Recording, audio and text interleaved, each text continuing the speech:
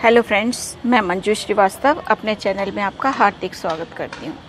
Friends ये जो आप देख रहे हैं, ये पैसीफ्लोरा है, इसको पैशन फ्लावर भी कहते हैं, इसे कृष्ण कमल भी कहते हैं, और इसको कौरव पांडव का फूल भी कहते हैं, और इसको राखी फूल की बेल भी कहते हैं। बहुत सुंदर दिखने वाला फूल है, आप देख रहे हैं, कितना खूबसूरत है ये, और इसकी पत्तियों की डिज़ाइन भी बड़ी अच्छी है। आज हम इसी के बारे में बात करेंगे कि इसको कैसे लगाया जाता है, इसकी देखभाल कैसे की जाती है।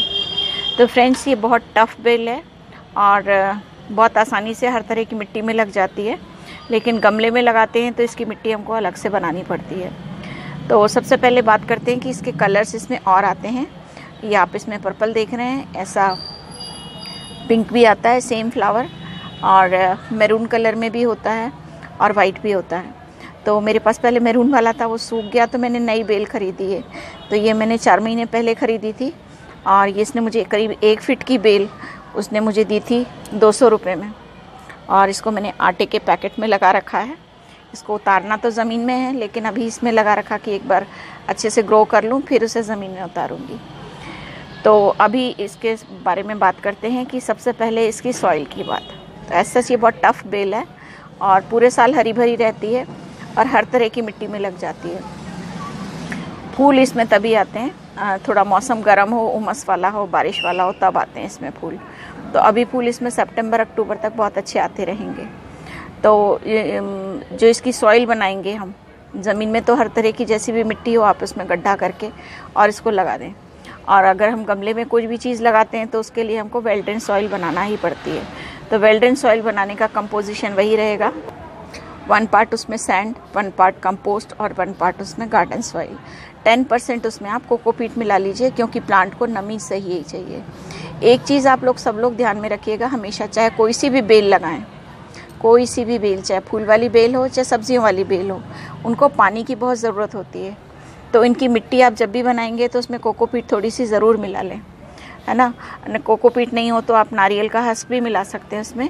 उससे क्या है कि इनकी क्वालिटी होती है कोकोपीट की, नारियल हस्क की पानी अपने अंदर ना रिटेन करके रखते हैं। तो इनमें पानी से सब में चाहिए होता है, क्योंकि इनमें कोई हार्डवुड तो होती नहीं जिसके सहारे बेल खड़ी रह सके। पानी नहीं होने से वो मुरझा जाती है पूरी लटक सी जाती है। तो इसलिए कोकोपीट मिलाना ज़रूरी है। सेकेंड चीज़ आती है इसकी लोकेशन इसको फ्रेंड्स इसको ये ना डायरेक्ट पूरे पाँच छः घंटे की धूप इसे नहीं चाहिए। इसे सुबह की या शाम की एक दो घंटे की धूप मिल जाए, काफ़ी है। तो इसको लगाने के लिए अच्छा है कि जैसे हम ब्लीडिंग हार्ट की बेल लगाते हैं ना, किसी दीवार वगैरह के सहारे तो उसे दीवार से उसकी धूप थोड़ी सी रुक जाती है और गर्मी भी मिलती रहती है कि वहाँ एक दो घंटे की धूप आई और फिर दीवार खड़ी हो जाती है। तो इसी तरह से हमको इसको लगाना चाहिए। तो ये इसका लगाने का मतलब लोकेशन हो गई। नेक्स्ट चीज़ है इसकी वाटरिंग पानी का इसको आपको ध्यान रखना चाहिए, क्योंकि इसमें सभी बेलों को पानी ज़्यादा चाहिए होता है।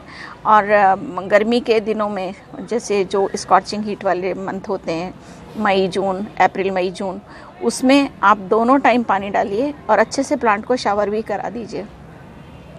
ठीक है? और इसके बाद आती है बात इसके फर्टिलाइज़र की।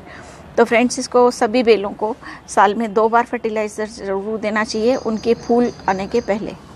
ठीक है तो एक हो गया फरवरी में दूसरा हो गया आ, ये जून जुलाई में।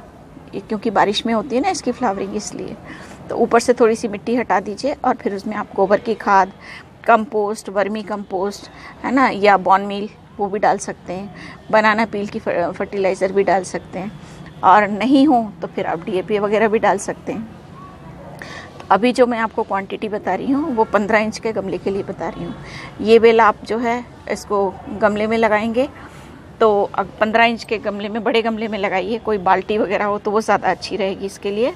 और ये बेल की तरह भी चल जाएगी और मतलब आप उसे काट कूट के झाड़ी की तरह भी रख सकते हैं। आप ये इसमें देख रहे हैं ना, ये इसके टेंडल्स, ये जो है किसी भी चीज़ के संपर्क में आकर उसमें लपेट जाते हैं और ऐसे सहारा लेके चढ़ते चले जाते हैं। है ना? तो ये हो गया। और फर्टिलाइज़र का जो मैं आपको क्वांटिटी बता रही हूँ वो पंद्रह इंच के गमले के लिए बता रही हूँ। फिर आप अपने प्लांट के साइज़ के और पॉट के साइज़ के हिसाब से उसको कम ज़्यादा आप उसे कर सकते हैं। पंद्रह इंच के एक पॉट में अच्छा बड़ा चाय का चम्मच भर के दो चम्मच बॉन मील आप गमले में डा, खाद डाल सकते हैं। एवरी महीने में एवरी मंथ ठीक है एक महीने में एक बार। और किनारे का, किनारे पहले गमले के एक रिंग सी बना लीजिए खोद के और फिर उसमें खाद डाल के मिट्टी से कवर कर दीजिए और फिर पानी डाल दीजिए। ये उसका तरीका हो गया खाद डालने का। इसके नेक्स्ट आती है कि इसमें पेस्ट वगैरह।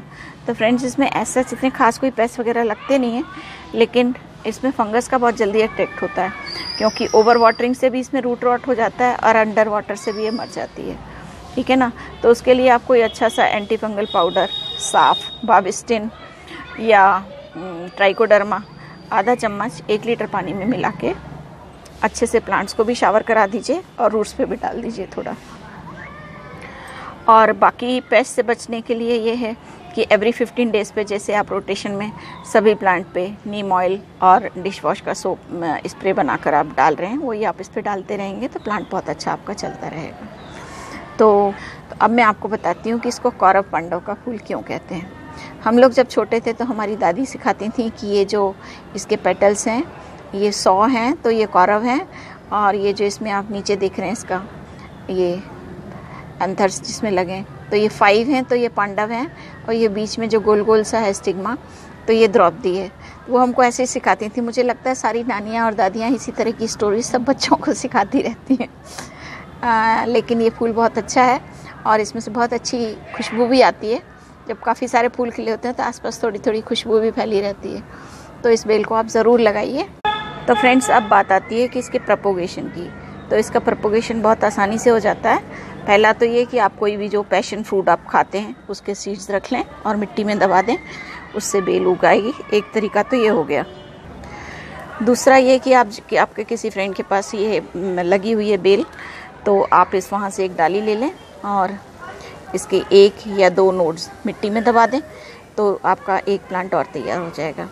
ठीक है, तीसरा एक और तरीका होता है, एयर लेयरिंग का, वो मैं आगे आपको बताऊँगी। तो फ्रेंड्स, जो मेरी नॉलेज और मेरा एक्सपीरियंस था, वो मैंने आपसे शेयर किया। आई होप मेरे इस वीडियो से आपको हेल्प मिलेगी इस प्लांट को लगाने में। अगले वीडियो में इसी तरह की जानकारी लेकर फिर उपस्थित होंगी। तब तक के लिए बाय बाय